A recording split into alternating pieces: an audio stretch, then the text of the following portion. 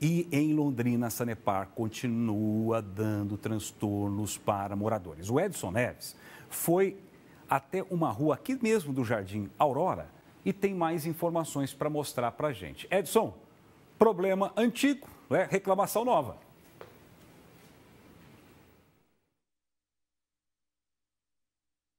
Ano novo, problema antigo e reclamação nova, viu, Fernando? A gente está aqui na rua Dario Veloso, que é próximo, inclusive, da TV Tarobá. Olha o tamanho do buraco que está aqui, Fernando. Vou pedir para o nosso gestor das imagens, o Júlio Moura, mostrar aqui para a gente. Ó, tamanho do buraco, a gente vê aqui o encanamento. Só que aí, Fernando, é o transtorno, né? Com relação à sinalização, às placas, está tudo muito bem sinalizado, duas placas grande, uma em cada lado, a gente vê a fita zebrada, ok, tá sinalizado, tá tudo bonitinho. Agora o problema é que fica aí, né?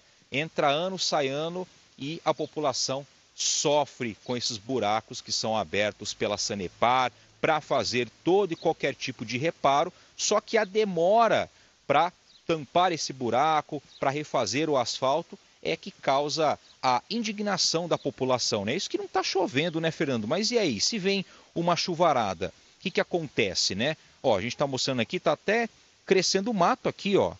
Porque olha o tempo que se passou e esse buraco não foi tampado novamente. Então fica aqui o nosso registro e, claro, né, para o poder público também se mobilizar e poder aí fazer e terminar esses reparos o mais rápido possível.